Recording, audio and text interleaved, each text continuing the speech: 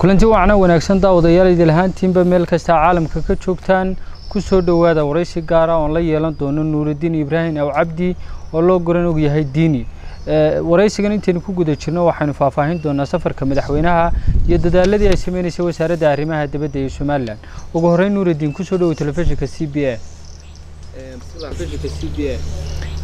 bismillahi raxmaan raxiim walaal maxamed aad iyo aad baad umahadsan tahay aad baan ugu dhowahay t v-ga codka bariga africa aad baad umahadsan tahay waxaan doonaya inaynu ku horeyno wasaaradda arrimaha dibadda. Muddooyinkii u dambeeyey waxay sameyneysay safaro kala duwan oo wasiirka arrimaha dibadda meelo kala duwan uu ku tegey. Maxay soo kordhiyeen baad odhan karaysaa safaradaas somalilan walaal maxamedow waa si fiican waa run isbedello waaweyn oo siyaasadda arrimaha dibadda ee somalilan ku aadan baa jira.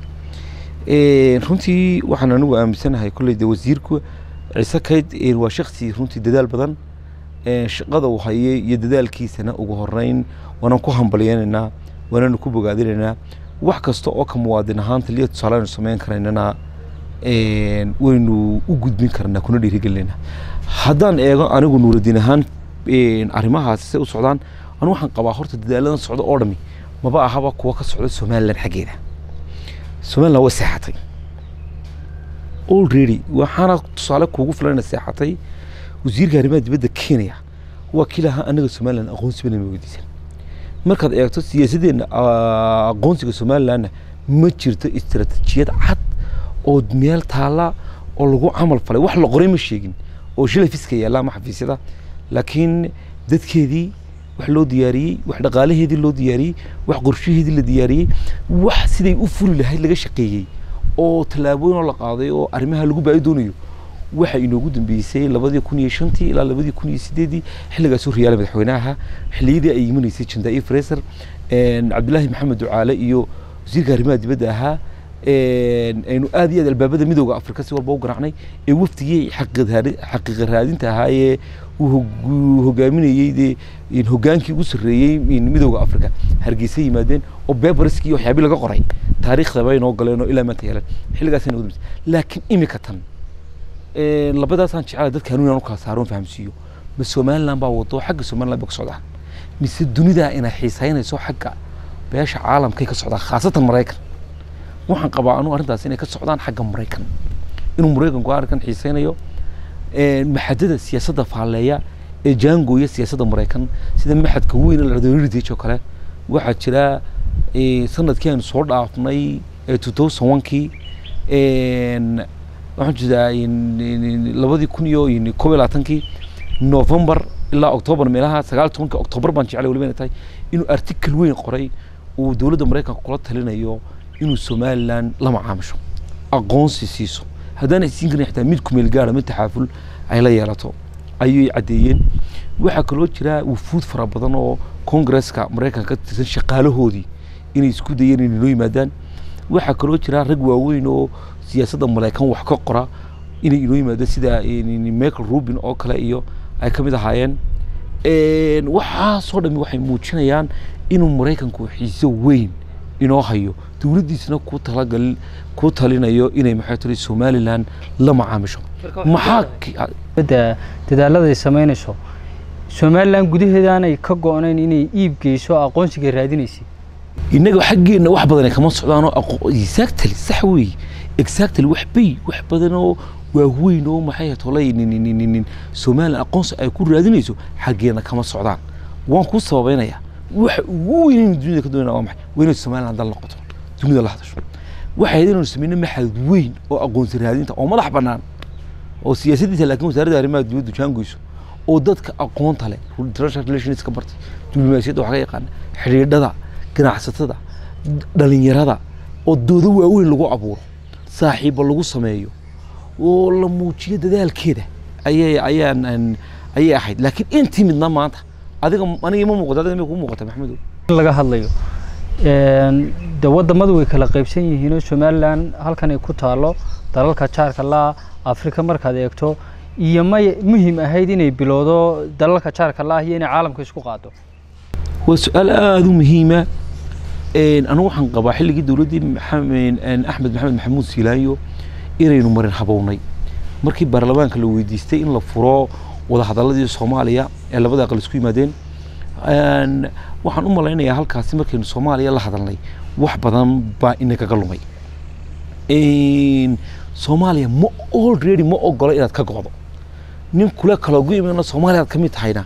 Sabab loo qanciyaaba meesha ma jirto kaasi waa qodob koowaad. Waa ka labaade iyaga laftooda xilliga kumeel gaarka ka baxayay nin dee isaguba tiisi la idlaran oo qaadayay baal dabayli sidatee ah halkeebaad oo allahayo i bixi leh sidaad wax iskugu darsan kartaa ma waxbaad yeelan kartaa su'aal bayd u nahay waa ta saddexaade ilaa hadda waxay ku jirtaa iishiyo amni.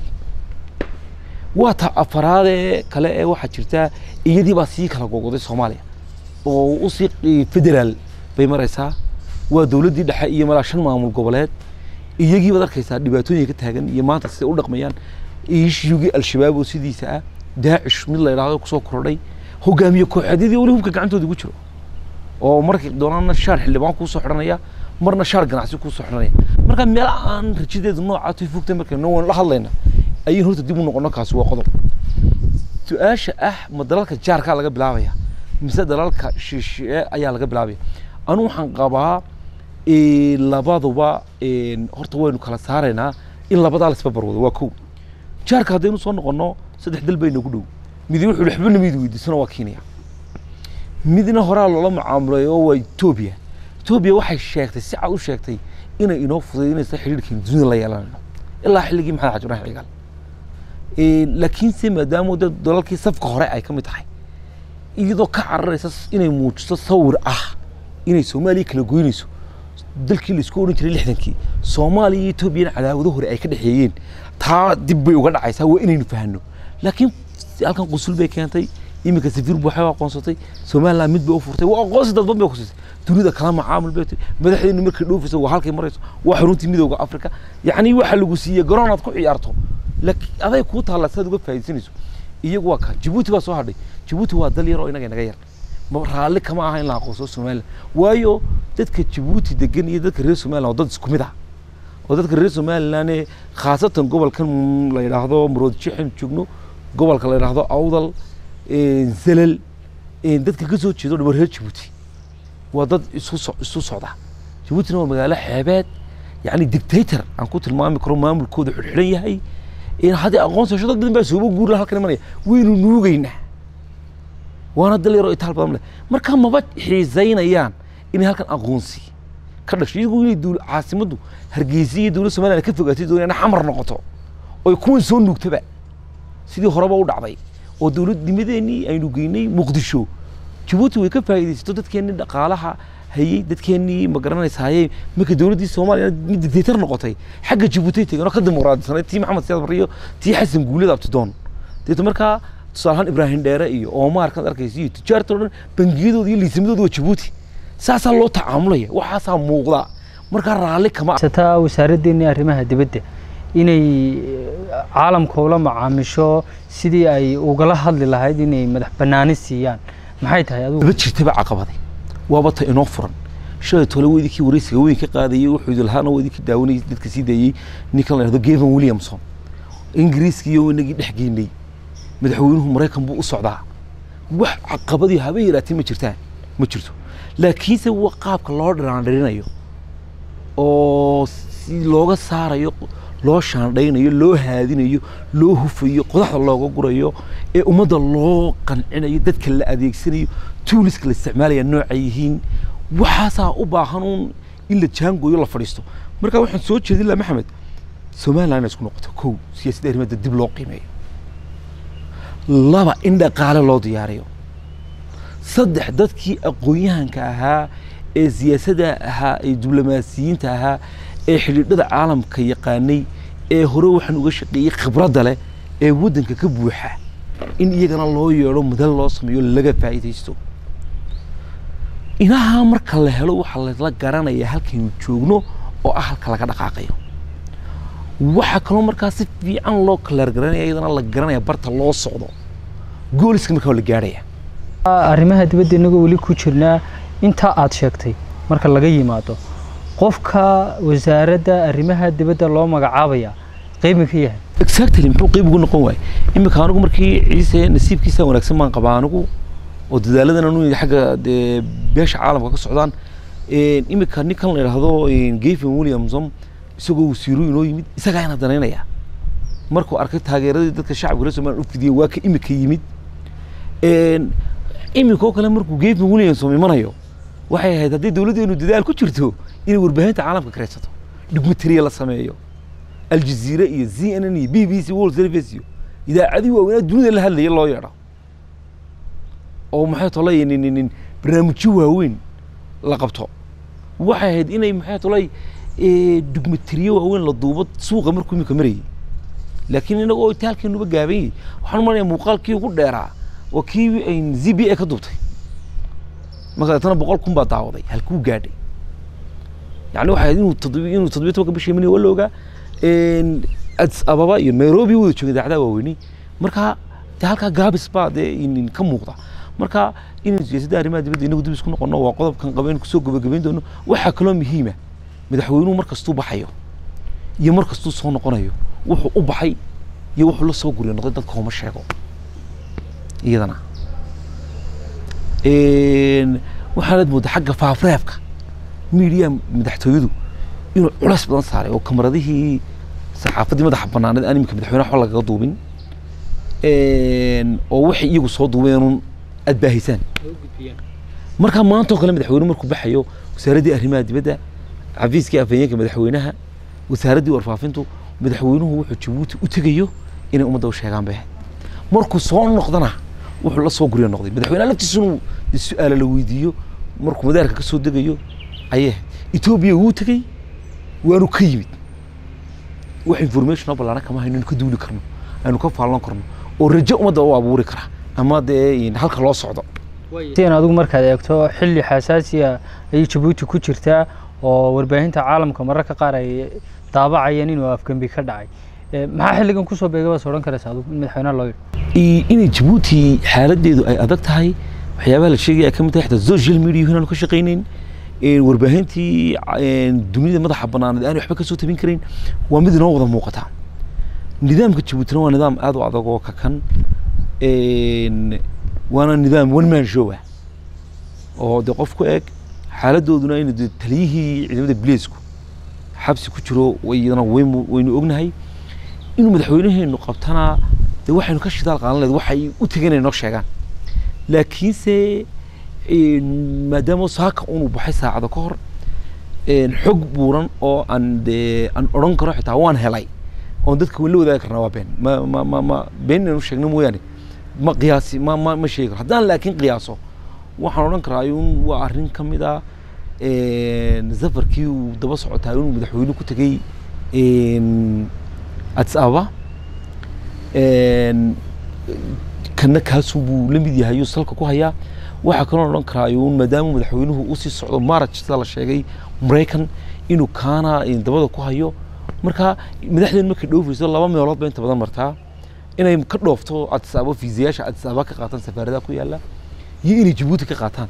Inuu fiisa qaadanayana de waa logic iyada lafteed iyo diyaargarowgii safarka maraykan inuu de yahay waa waxyaabahan anigu qiyaasi karo personally opinion yani fikradayda furan laakiin xog sugan dee ma hayno waxaynu laakiin ka faalloon lahayn markay wax inoo sheegaan madaxweynaha wasiirada raacay waxaa ka mid ah ganacsiga arrimihii gudaha wasiirka arrimaha dibaddu lama socdo saddex wasiiroo la socdo waftiga ku wehelaya madaxweynaha taa marka loo laga hadlayo tusaale in madaxweynuhu waddan kale booqanayo aan wasiirkiisa arrimaha dibaddu aanu la soconin maxay noqonaysaa bay kula tahay runtii waxay ku xidhan tahay uun ujeedooyinka loo socda.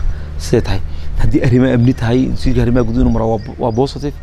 Haddii arrimo ganacsi loo socdo wasiirka ganacsigu inuu maraa waa positive. Marka taa dhib arko. Waxay ku xidhan tahay. Hadba madaxweyne wuxuu socdo. Iyo safarka iyo safarkiisani ujeedadiisu waxay daaran tahay. Ay dabada ku hayso. Dadkii ku shaqada lahaa ee de isagana hawshan u sii qabanaya gacmihiisa ahaa ayuunbu kolba kaxaysanaya markaa taasi waayahay ugu dambeyn nuuraddiin adigoo aada u mahadsan waktigaagaadna siisay madaxweynuhu sida dastuurka u dhigayo marka uu tegayo waddamo kale ama booqanayo waxaa muhiima inuu dadka la wadaago wixii ay ka wada hadleen ama uu la soo kulmay markuu waddankiisu kusoo guriyo noqdo muddooyinkii ugu dambeeyey sidaad sheegtay iyo sidoo hore u dhacdaybana safaro badana uu tegey si rasmi umuu shaacin taas maxay ka dhalan kartaa soo dhanaysa adigu wallaahi anigu waan la yaabanahay sababta niyow somalilan dowladnimadeeda waxyaabaha ilbaxnimada ku hayd ba ka mid tahay. Waxaan xasuustaa maxamed xajiraan cigaaloo wixii ugu weynaya aqoonsigeenu doonaynay raadinayo dunida soo marole waar dunidii dhabarkiina soo jeedisay? Yani kalsooni oo dadku ay positive arkay soo dhaweynayeen daahir yaalla kaahin haddaad dib u milicsato yani madaarka markuu maado war miidiyaha intuu tago ayaa xitaa su'aalaa la weydiinayay markaa xitaa dowladda somalilan ilbaxnimada xagga inay dadka la hadasho markay sii socoto markay soo socotaba waa wax aad iyo aad ay ugu soo dhaqmaysay oo habdhaqankeeda ka abuu ahaa laakiin iminka waxaad moodaa dee madaxweynuhu socodna wuu nagu dhaafaa. Socodna wuu uu ku sii ku sii socdaa. Marka dee dowladnimaday laakiin u fiican tahay in arrimahan laga warbixiyo oo dadka wax lala wadaago loo sheego. Taa waxaynu markaad fursad iyo chance heshaan inaad madaxweynaha weydiisaan miidiya oo dhan wayna wada dhegeysan doonaaye. Waan waan ku dhiirigelinayaa.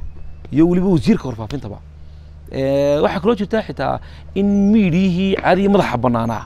Inta badan madaxweynaha aanu imika toos ula tacaamulin oo inta badan miidiyaha madaxtooyadu wuxuu soo duubun baa miidiyaha kala baahaya taa lafteeda maxaa tala ahaan soo jeedin leh wallaahi talooyinkaa horeynu u sheegnay. Maanta haddaan tala bixinayo miidiyana ka hadlayno qodob ka duwan baan intaan ku darsan lahaa. Taladaasoon toos anigu ugu diraya madaxweynaha jamhuuriyadda somalilan mudane muuse biixi cabdi oon leeyahay xaalad adag baynu ku jirnaa xaalad abaareed baynu ku jirnaa.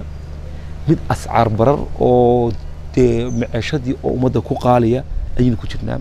Laba xaaladood oo isbarkan baa isugu ka yimid labadaa xaaladood waxaan u sii kala qaybinayaa xaalad ilaahay baa keeno wata abaarta. Ilaahay baa inaga jibin roob baynu ka sugi waa qodob. Xaaladda ascaartana mid dunida inagaga timid oo barakshara oo dee hadday tahay continuarski iyo weelka wax lagu qaadayo qaaligaroobay iyaguna way jiraan oo iyaduna xaggaas inaga timid. Laakiin waxaa jira arrintaa maceeshadda iyo shidaalka waxaynu ku xallin karnaa oo ah kow mushkiladda ugu weyn waa taraafiguura kambanigaasi markuu inoo yimid ayay shidaalkii qaali garoobay. Sababtu waa maxay? Ma aha in maxay hetooley taraafiguura kooto loogu xidhay. Laakiin waxa weeye shuruudda shidaalka imanaysa. In magac gaara layidhi hala keeno oo ah shidaal shan boqol oo b b m ah. Selbartiisu ay tahay shidaalka waxa isticmaali karaa laba ninu nin la soo baxay oo obek ah. Dalalkaa shidaalka soo saaray obek laysku idhaahdo iyo nin dhaqaale weyn haysta oo shidaalkiisa kaba. Labadaa dowladood ayuunbaa isticmaali karaa.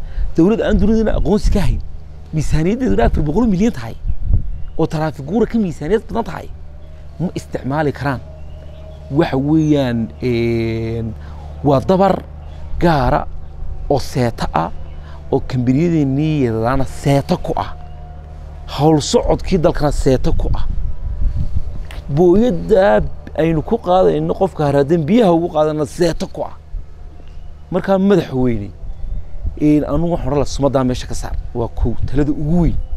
Waa talabaadee ganacsada maanta joogtaa niman naxa oo diir naxa ku yaalla maaha faa'iida yaqaanaa. Koodaba way jebinay de suuqu waa xoro dowladdu inay raashin keento. Marka xaaladdan adag lagu jiro wuxuu diidayaa ma jirtee? Xilliga abaaraha iyo xilliga rabadaanta si aynu sakaada bidrigii iskaga bixinno oo masaakiinta sakaatul bidrigii loo siiyo una soomi karno. Anu waxaan odhan laha bal dowladdu almiino iyaanay faraha laabane sidii horeba u dhacday xilligii cigaalo miisaaniyaddiinu labaatan milyan hayd raashin keena dalka madaxweyne. Wasaaradda ganacsiga cid way soo iibin kartaa intaas baan talo. Halkaa aan ka fari lahaa xilliga adagii lagu jiro dadka. Aad baad mahadsantahay guud ahaan daawadayaal waraysigii gaarka aan la yeelanay nuuraddiin ibraahim oo cabdi diini ayaanu intaasi ku soo gabagabeyneynaa insha allah intaynu waraysigan waraysi lamida ku kulmi doono haddii allaha wadala raalli ka noqdo waxaynu kaga tegaynaa sidaa iyo ammaano allah